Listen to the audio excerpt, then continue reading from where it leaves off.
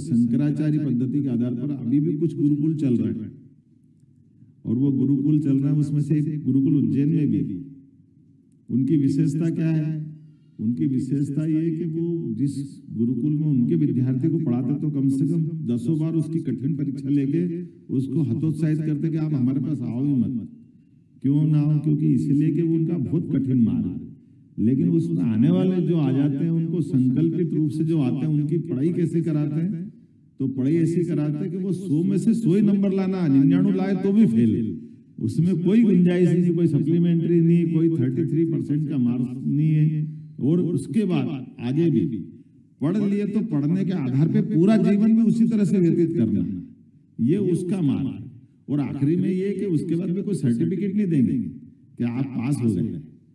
पास हो गए मतलब ये आपको मालूम और गुरु को मालूम। पूरा जीवन उस मार्ग पे ले जाना। ये गुरुकुल पद्धति मैं ये नहीं कह रहा कि ये हमारे लिए लगना चाहिए। लेकिन उसमें अपने काम की बात इतनी है कि वो हमको कार्यदक्ष बनाने के लिए सौ प्रतिशत शंकराचार्य पद्धति वो तो सिखाई देती कि ऐसा भी होता है क्या? जो हमारे लिए अभी तक अपने किसी के विचार में भी बड़ी मुश्किल। मैंने भी जब पहली बार सुना तो बड़ा अटपटा लगा। लेकिन ये हमारी अपनी ऐसी कई सारी धारा बह रही है जिसके आधार पर हम सीख सकते हैं।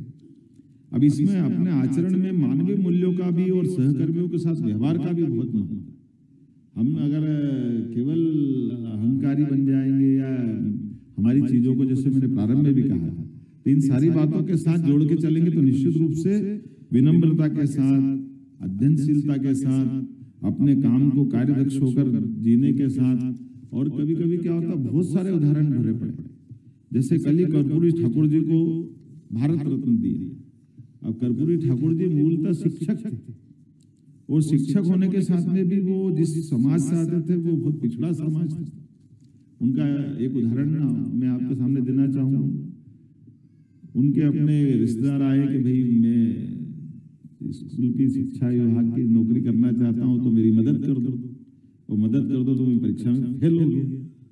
तो फेल हो गए तो क्या करना चाहिए? तो उन्होंने कहा, तुम क्या करते थे? तो उन्होंने कहा, आपकी दाढ़ी कटिंग की दुकान है तो उन्हें काम करो, मैं तुमको पचास रुपए देता हूँ, दुकान खोल लो, वो करो, ये तुम्हारे बस की बात है, ये मैं मदद करने का काम नहीं करता। तो मुख्यमंत्री होकर के जो अपनी इस लाइन को बना कर कि मूलतः हमारी सुचिता की बात जो हम कह रहे हैं उसको खाली कहना नहीं, लगाना, अपने जीवन में धारण करना।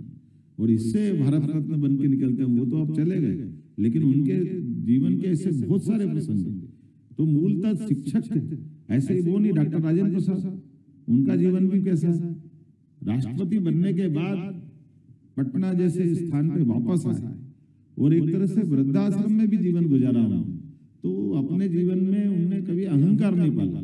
ये हमारे लिए पाथे बन के, ये उदाहरण बन के हमारे जीवन पर काम आए। कि हमारे को काम कोई सा भी मिल जाए, लेकिन व्यक्तिगत जीवन में भी हम उसका बाद में कैसे पालन करें?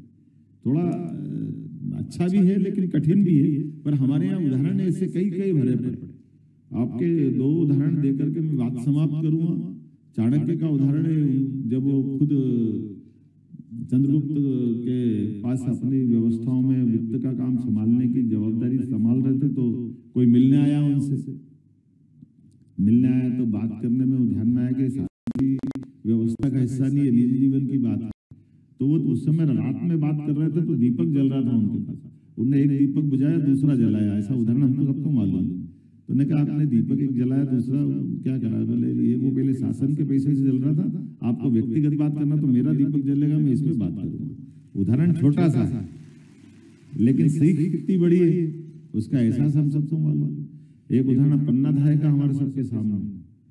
पन्ना धाय मूलतः राज परिवार में कर्मचारी की तरह काम कर रही। लेकिन उस राज परिवार की व्यवस्थाओं को, शासन की व्यवस्थाओं को लेकर अगर कोई कष्ट आ रहा है तो अपने बच्चे का बलिदान देकर के भी उन्होंने जो उदाहरण उत्पन्न किया पन्नाधारी ने अपने खुद के बच्चों को, अपने सामने सात साल के बच्चों को,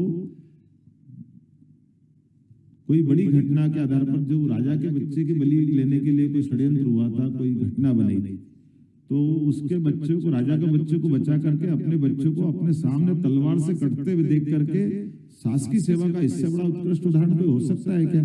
कोई ऐसा सोच सकता है कि केवल भारत में होता है ये पन्नाधाय की बड़ी लंबी कहानी, लेकिन ये उदाहरण हमारे सबके सामने तो मेरी अपनी ओर से आप सबके प्रति शुभकामना। बधाई बहुत बहुत